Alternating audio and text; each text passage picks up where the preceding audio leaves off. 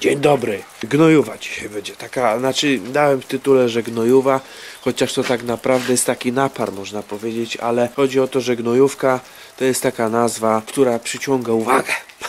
I chodzi o nawóz z pokrzywy. Chciałem teraz taki przepisik na szybką gnojówę, nieśmierdzącą, bo normalnie to wali jak końska dupa w stajni. Ja takie coś stosowałem w mieszkaniu, żeby na balkonie nie robić normalnie gnojówki, żeby nie waliło wszystkim sąsiadom dookoła. To robiliśmy w sposób, który zaraz pokażę. I co potrzebujemy, żeby to w ogóle wykonać? Yy, mongolski hełm z III wojny światowej, koniecznie parasol. Pierwsze mniej nas widać, a po drugie tak nie pada na ten sagan. Idziemy po pokrzywę. Ktoś się mnie pytał, jak pokrzywę rozpoznać, bo są podobne rośliny. Ja to rozpoznaję na dwa sposoby. Pierwsze to najprostsze, że parzy. Raczej roślina, która nie parzy, nie jest pokrzywą, przynajmniej z tego co ja wiem. Poza tym pokrzywy z wyglądu moim zdaniem są takie trochę bardziej agresywne niż inne rośliny. Tu mamy na przykład pokrzywę.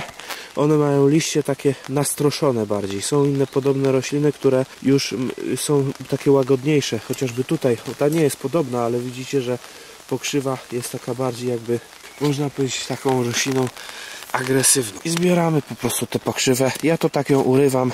Staram się raczej tam z korzeniami nie wyciągać, ale jak jest ich jej dużo, to tam się nie pierdzielę za bardzo. Tam jako nawet z korzeniem wyciągnę, to tutaj, słuchajcie, tu nie było w ogóle pokrzywy. Myśmy ją przywieźli tutaj jako, jako taką, jakie taki nawóz zielony i myśmy ją tutaj wysiali, można powiedzieć.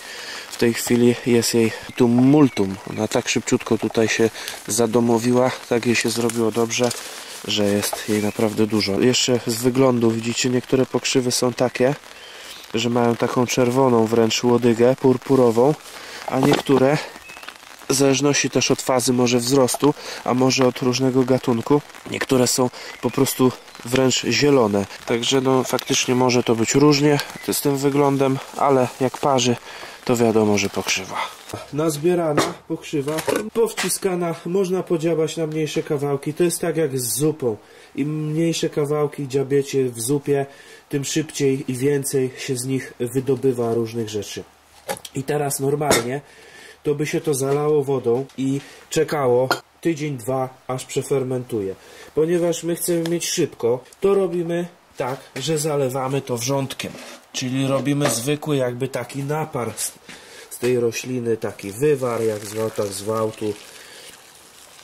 Ojej, kamera mi aż zaszła tym.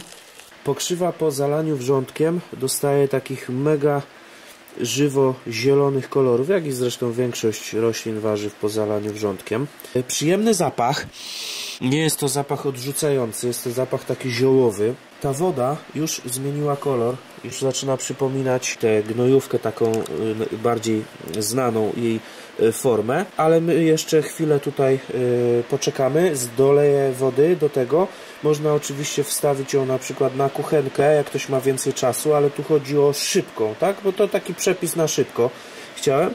To zalewamy to, przykrywamy i zostawiamy powiedzmy na 10 minut 20 już mam wodę, dolewam. Jest jedna zaleta takiej też gnojowy, takiego nawozu zalewanego wrzątkiem. Jeżeli się obawiacie, że gdzieś zerwaliście jakieś inne chwasty przy okazji, albo po prostu jakieś nasiona są pokrzywy, bo już jest w takim wieku pokrzywa, że ma te nasiona, o ja znowu zaparowało. Taka zaleta, że zalewając to wrzątkiem i trzymając to przez jakiś czas w garnku, 10 minut, czy gotując nawet jeszcze, czy dłużej trzymając, że zabijamy te wszystkie nasiona, nie wiem, pleśnie, grzyby, czy cokolwiek, co, co byłoby dla nas y, niepotrzebne. Oczywiście zabijamy też niestety y, pożyteczne organizmy niektóre, no ale jak się chce mieć szybko, to trzeba y, się liczyć też z innymi konsekwencjami. 20 minut prawie postało. Ja sobie to teraz tak przecedzę. Zapaszek jest naprawdę przyjemny. Nie odrzuca. To nie jest na pewno to, co z normalną gnojówką. Z tym ustrojstwem, co tu nam zostaje, możemy oczywiście powtórzyć zabieg i jeszcze raz zalać to, ponieważ na pewno wszystkich mikroelementów tutaj nie wydobyliśmy z tego. Aczkolwiek ja nie będę się tutaj z tym bawił, bo to tak jak mówię, miałoby być szybko, to teraz jak ktoś na przykład na balkonie, to może sobie poczekać aż to wszystko wystygnie, wysuszyć, rozkruszyć i dorzucić normalnie do ziemi w doniczkach, a ja sobie to pyknę po prostu do kompostu. O, o, a tu swoją drogą przechodzę i normalnie tradycyjnie gnojówkę robię, aż wyłazi z wiader. To może też zrobię filmik, jeśli będziecie chcieli.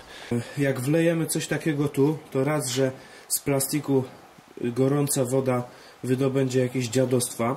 Dwa, że po prostu nam się to wszystko powygina w cholerę, albo nawet dziury się porobią. Można poczekać oczywiście, a można po prostu, o, do garnuszka obok wlać normalnie zimną wodę. Jaka jest różnica e, w kolorze? E, Zwykła woda i to. I po prostu przelać powiedzmy pół na pół z taką zimną wodą dolać sobie tu. Już mamy wtedy rozcieńczony taki nawóz. To już jest na tyle chłodne, że nie ma problemu, można podlewać od razu. Ja przelewam do baniaka, bo chcę sobie to przewieźć w inne miejsce. Natomiast jak przeleję i poczekam powiedzmy 4-5 dni, to już zacznie też śmierdzieć normalną taką gnojową.